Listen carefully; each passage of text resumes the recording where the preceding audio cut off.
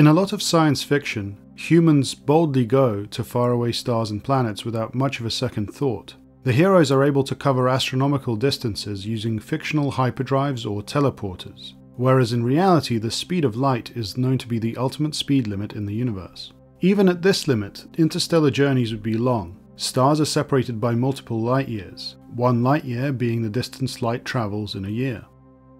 People have speculated about how long a more realistic journey would take without any sci-fi technobabble. It's rare though to find a discussion within popular media which is actually motivated by a robust knowledge of physics and relativity. One argument goes as follows. With current spacecraft technologies, it would take thousands of years to reach the nearest star. This means that many generations of people would be born and die during the trip. What is more, it would seem likely that a new, faster spaceship capable of overtaking the original would eventually be constructed, rendering it obsolete. This would make interstellar travel unattractive for the astronauts and for society as a whole. I believe that such a generation ship would be impractical, and in this video I will explain why a crew could make the trip in their lifetimes and ensure that they are not overtaken in reaching their goal. You are probably watching this on or near the surface of planet Earth, where gravity is pulling you towards the center of the planet. Unless you are a skydiver or an oligarch who has accidentally fallen out of a window, there is a floor beneath you exerting the same force upwards. You are pinned to the floor by the force of gravity. If the floor wasn't there to stop you falling and there was no air resistance, the force of gravity would be enough to accelerate you downwards at a rate of 1g, you might have accelerated even more rapidly than this in a fast car, roller coaster or aircraft if you were said to have pulled a lot of Gs.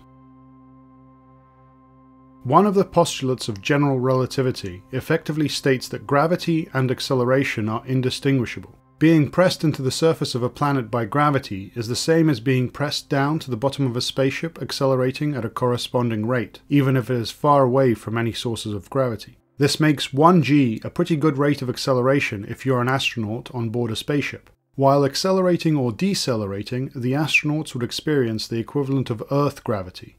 No weightlessness, no muscle loss, and so on. With a much larger acceleration lasting for an extended period of days or more, the human body may not survive such harsh stresses. With a much gentler acceleration, you would never get anywhere. Mathematically, an acceleration of 1g means increasing your speed by 10 meters per second every second, or going from 0 to 36 kilometers per hour in 1 second. So for example, after 1 second your speed would be 10 meters per second, 20 meters per second after 2, and so on. If you did so for long enough, it would seem that eventually you would exceed the speed of light. But there's a catch in the form of Einstein's special theory of relativity, one of its postulates is that the speed of light is the same for all observers. This is actually very strange. Imagine if Alice flashes a laser beam which moves away from her at the speed of light, while Bob is on a spaceship going at half the speed of light in the same direction. Surely Bob must perceive the beam as escaping from him at only half the speed of light again. Well, no, because as the postulate states, the speed of light is the same for both Alice and Bob. The way to reconcile these facts is that Alice and Bob perceive time and space differently. One consequence is that even when an object is experiencing what it feels as a constant rate of acceleration, for example if a spaceship's engines are putting out a constant amount of thrust, it will never quite reach the speed of light. So there are two ways to view an interstellar spaceship. Mission control on Earth sees it moving away and getting faster, but as the spaceship approaches the speed of light, the speed levels off. Eventually, the engines cut out and it recedes at a constant speed. Astronauts on board are pretty much stationary relative to the spaceship, but they feel 1g, just like you are right now, until the engines cut out and they feel weightless. Star systems move at tiny speeds compared to what we're discussing here, so I will treat them as near enough stationary relative to each other.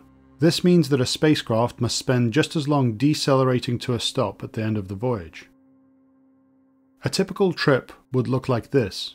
Burn forward for a certain time so your speed rises, but never gets to the speed of light, then coast along at this constant speed, and then burn back to come to a stop again. A small amount of distance will be covered during the speed up portion, an equal amount during the slowing down portion, but most of the interstellar distance is covered during the high speed coast phase. The Alpha Centauri system, actually consisting of three stars, is the closest to Earth at 4.4 light years. Suppose that a spaceship maintained a rate of acceleration of 1 g for an entire year. As a result, the spaceship would be travelling at just over 70% of the speed of light. Factoring in the acceleration and deceleration stages and the final speed, the spaceship would take just under 7 years to make the journey from the perspective of the Earth. This is a pretty reasonable time frame, shorter than many prison sentences. In fact, due to time dilation from travelling close to the speed of light, the astronauts get time off for good behaviour. The trip appears to last only about 5 years to them. More on this in a moment.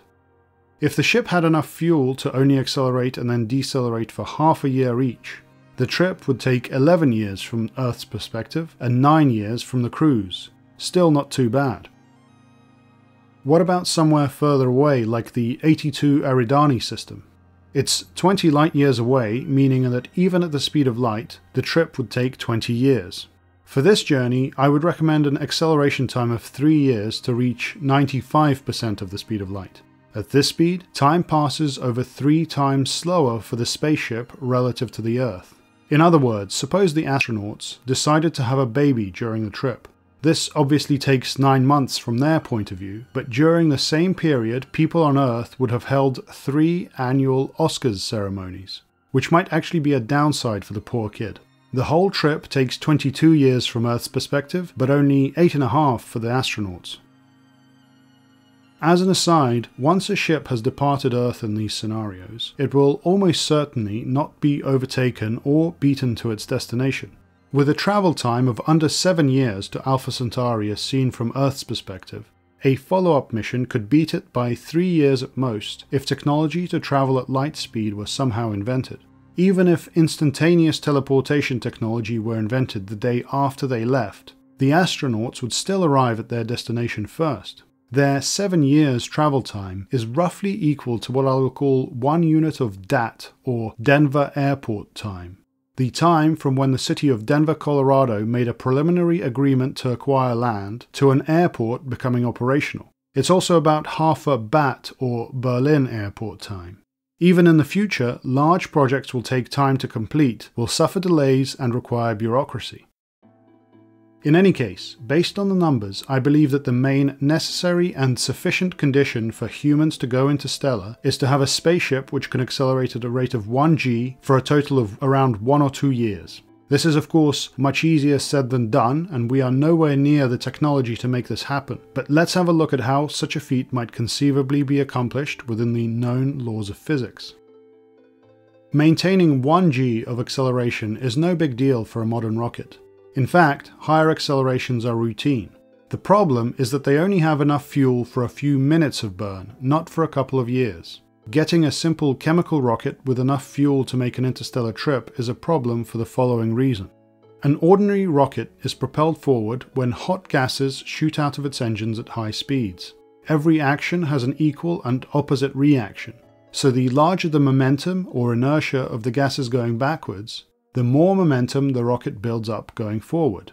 Suppose we have a 1 kilogram satellite and we need 1 kilogram of fuel for its final 1 minute burn forwards. What about a 1 minute burn before then? We would need 2 kilograms of fuel, one more for the satellite and one for the first bit of fuel. We need 4 kilograms for the minute before that, 8 before that, and so on. The amount of fuel required grows exponentially with the amount of time the rocket accelerates for like the grains of rice on a chessboard. In other words, we need to propel the fuel to propel the fuel to finally propel the satellite. This is why rockets are normally staged. A small spacecraft final stage sits on top of a large second stage, which in turn sits on top of a huge first stage. To have enough of our current fuels to keep burning forward for years, the stages would get absurdly large. But there is hope. Let's say that we have a super advanced fuel which gives twice the impulse or kick from the same amount of ordinary fuel in the example I gave previously. This means we only need half a kilogram for the final minute of burn, three quarters for the last but one minute, and so on. So although the fuel is only twice as good as before, the final mass of the rocket is also exponentially smaller. What we want then is a fuel which shoots out of the back of the spacecraft's engines carrying the most possible momentum, because this will give the spacecraft the largest possible push forward. Fortunately, due to relativity again, there is no limit to how much momentum any given piece of matter, such as a grain of sand, a molecule, or a particle, can carry. You could, in principle at least, accelerate a huge spaceship to half the speed of light by firing out just a single atom with an eye wateringly large amount of momentum. Granted, I can't imagine a technology which would get the job done with just one atom, but we could certainly greatly increase the amount of momentum every piece of propellant carries over current chemical rockets. One place where a large amount of energy, and therefore momentum, is imparted onto matter is a particle accelerator. A big machine, such as the Large Hadron Collider at CERN, can impart 6.8 trillion electron volts of energy onto a proton, which corresponds to a huge amount of momentum.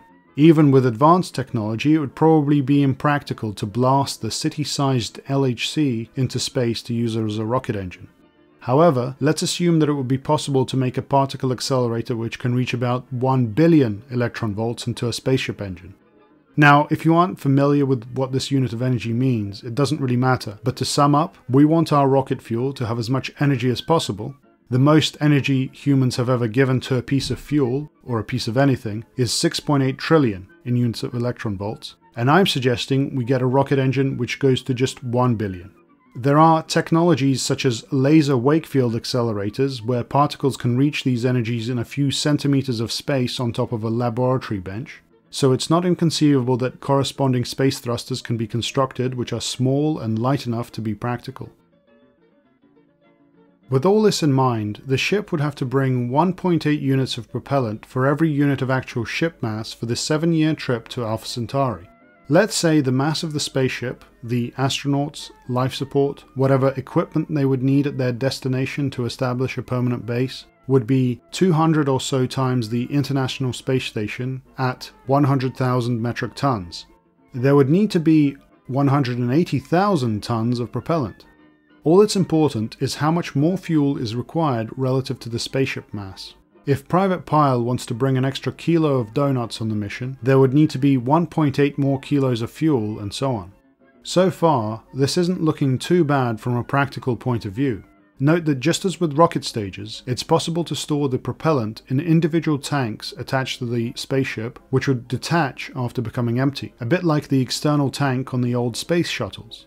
This just means that the mass of the fuel tanks themselves need not be included in the final spaceship mass. While we have the basic technology for the ship's engines, the issue of powering those engines is much harder. The energy itself requires a mass of fuel, that is what Einstein's famous equation E equals mc squared means.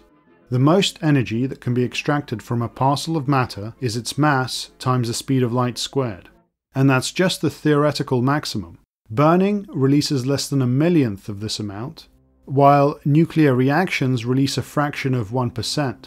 The less efficiently we can extract energy, the more massive the spaceship gets, which in turn means we need to bring more fuel and so on. One sure way to get to the theoretical maximum is to annihilate matter together with an equal amount of antimatter. Half a kilogram of each would release the speed of light squared's worth of energy. Antimatter has been generated on Earth, so we know it can be done in principle. We are just nowhere near manufacturing it in any significant quantity. There are also huge unknown technological issues with storing antimatter and then efficiently using the energy that comes out of it. I have seen other proposals, such as taking a miniature black hole, which is even more technologically uncertain.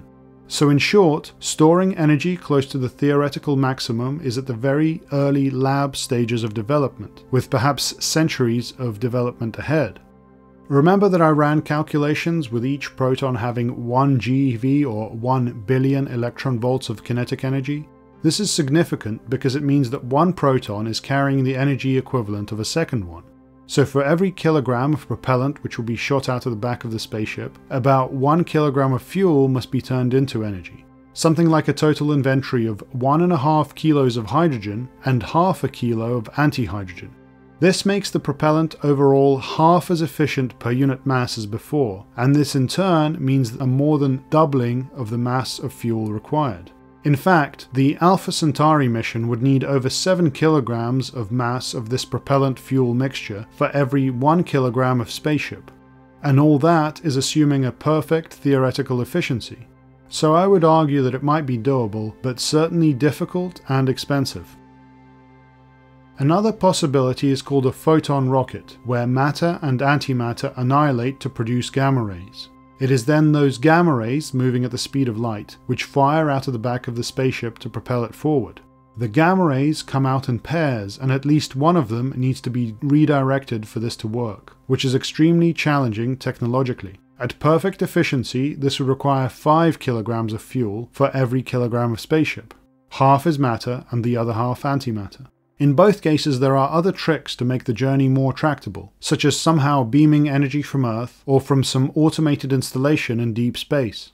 Imagine, for example, a scenario where a second, slower, and fully automated ship full of fuel is sent out ahead of the main ship, crewed by people. The crewed ship doesn't have enough fuel to fully decelerate upon reaching Alpha Centauri. However, the two missions are perfectly timed so that just as the crewed ship runs out of what fuel it does have left, it meets the robot ship and completes the deceleration.